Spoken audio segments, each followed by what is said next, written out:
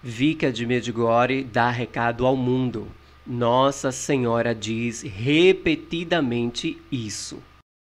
Louvado seja o nosso Senhor Jesus Cristo, para sempre seja louvado, e a nossa mãe Maria Santíssima, Rainha da Paz de Medjugorje. A vidente Visca, meus irmãos, em suas palavras, né, em uma palestra uma entrevista, a vidente ressalta muitos pontos importantes sobre a mensagem de Nossa Senhora em Medjugorje. Nossa Senhora repetidamente nos diz que, preste atenção no que a vidente Visca Ivankovic vai nos dizer. Nossa Senhora repetidamente nos diz que estes são os tempos de grande graça, em que somos chamados a aceitar suas mensagens e vivê-las ela nos convida a ser portadores de sua paz e amor e a rezar pela paz no mundo. No entanto, devemos primeiro alcançar a paz em nossos corações, realizar a paz em nossas famílias e comunidades, e então, cheios de paz, podemos orar pela paz no mundo. Mas, se tu diz à Virgem, rezas pela paz do mundo e não tens paz no teu coração, esta oração tem pouco valor. Nossa Senhora, neste momento, recomenda que rezemos mais, principalmente pelas suas intenções e projetos, e também nos convida a pegar a Bíblia todos os dias, ler algumas linhas dela e depois tentar vivê-la ao longo do dia. Ela também recomenda que rezemos pelo Santo Padre, pelos bispos, pelos sacerdotes e por toda a nossa igreja, que precisa de nossas orações. Em particular, Nossa Senhora roga pela paz e nos convida a nos unirmos a ela nesta intenção. Quando as pessoas dizem, não consigo encontrar a paz, é muito difícil significa que pouco fazem para mudar. Se decidirmos mudar nossos corações e nossas vidas, a paz certamente virá. Você tem que se voltar para Deus e lhe dizer: Senhor, mude meu coração. Faça conforme a tua vontade, porque eu quero viver com a tua paz. Então esta paz vem com certeza. Rezem pela paz. Com sua oração e jejum, você também pode afastar a guerra. Comecemos a pedir a Deus esta graça e pouco a pouco ele nos dará a paz. Pior do que a guerra que tivemos de enfrentar é a guerra dentro das famílias e a guerra dentro dos corações e das consciências. É ou não é, meus irmãos? A gente sofre tanto com essa guerra interior, né? Eu, por exemplo, eu sofro muito, né? E tenho lutado bastante. Você tem lutado bastante com sua guerra interior? Comente aqui no vídeo.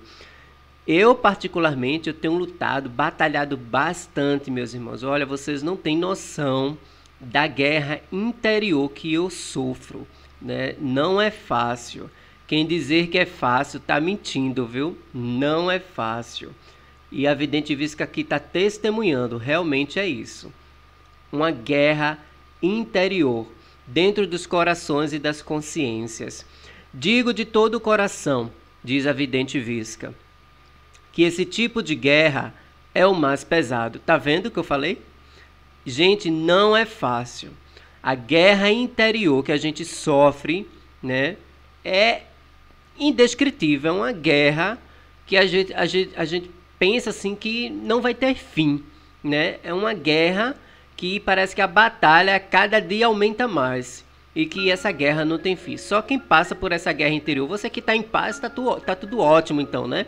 Mas eu sofro de guerra interior, né? De guerra interior no coração, na alma, na minha consciência por, por quê? Porque existe essa guerra interior. É a concupiscência, meus irmãos, a nossa concupiscência, né? a nossa inclinação para o mal ao invés do bem, que faz com que essa guerra interior, é uma guerra interior da alma, é uma guerra da carne, é uma guerra da consciência, das imaginações, é uma guerra, né? A gente sofre muito essa guerra.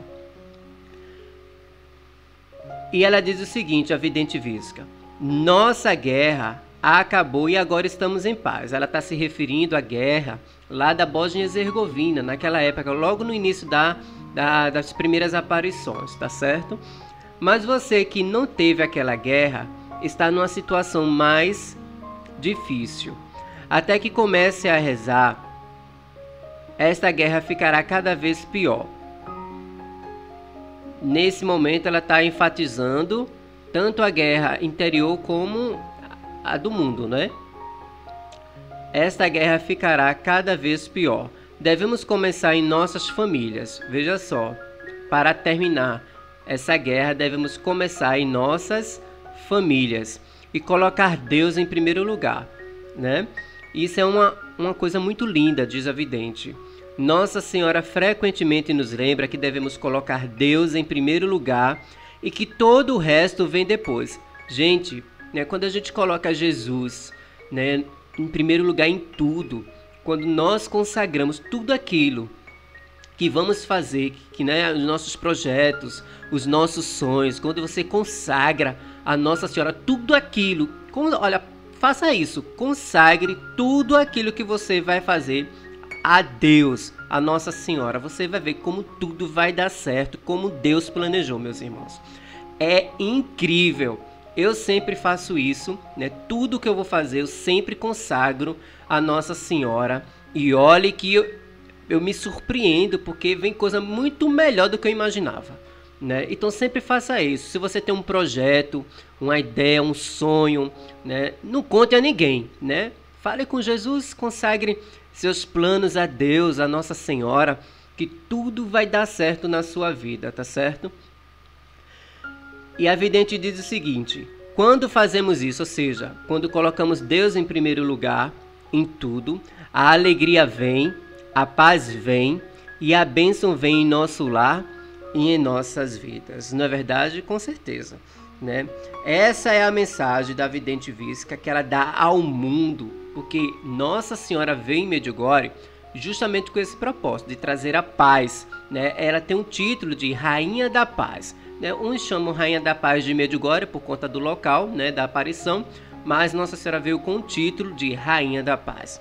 Essa mensagem é muito linda, muito importante, né? Deixe sua curtida para que o YouTube ele possa reconhecer que essa mensagem precisa ser difundida ao mundo. É um testemunho da vidente Visca Ivankovic, serve sim, né, para orientar muitos irmãos que estão aí apegados ao mundo, né, apegados às coisas terrenas. Meus irmãos, tudo aqui neste mundo passa, nada fica, né? Todos nós passaremos, a única coisa que não passa é a palavra do nosso Senhor Jesus Cristo, o Evangelho, a Bíblia, né? Então é isso. Deixo essa mensagem aqui com muito carinho e amor.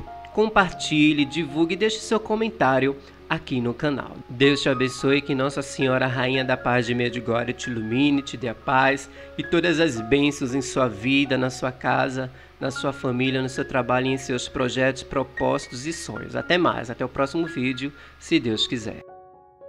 Se inscreva no canal, convide mais pessoas, curta, compartilhe e comente. Nossa Senhora Jesus te chama. Faça parte do canal. Aqui é uma família.